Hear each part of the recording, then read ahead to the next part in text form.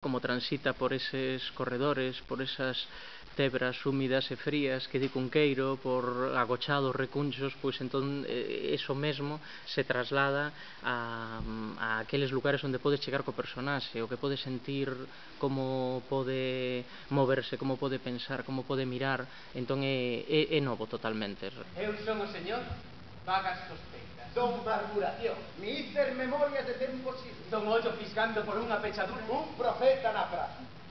E o teu testemunho é verdadeiro. Solamente en parte. Garda verte a ti que es unha señoría ilustre.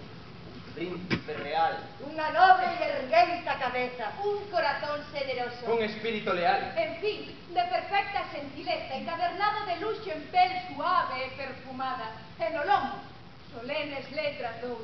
Eh, cal é o, quizáis o, o problema que pode atopar un actor diante deste personaxe pois eh, eh, ten moitísimo o que se pode entender como moitísimo texto non?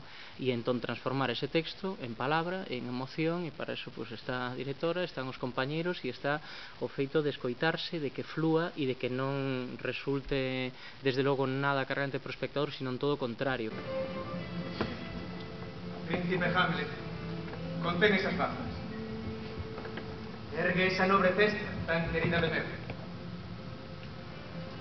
Un príncipe está no mundo dun xeito ben diferente a como este un home calquera. Dificultosamente pode haber no mundo un príncipe que non estea mergulhado no corazón dun crime, nun vaso de insomnio envolto nunha capa de neve. A púrpura real nestes tempos que é senón unha cunca sempre presta a ser chea dun sangue imprevisto.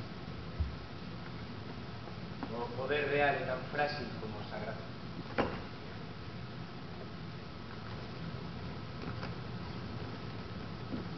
Non era o teu pai, pero era un grande señor, unha verba verdadeira, unha espada usada, un artigo de fe, que foi asesinado. Dixo anos, un rei xa defunto xurando 90, nas ameas máis altas pola súa salvación, que dicía verdade,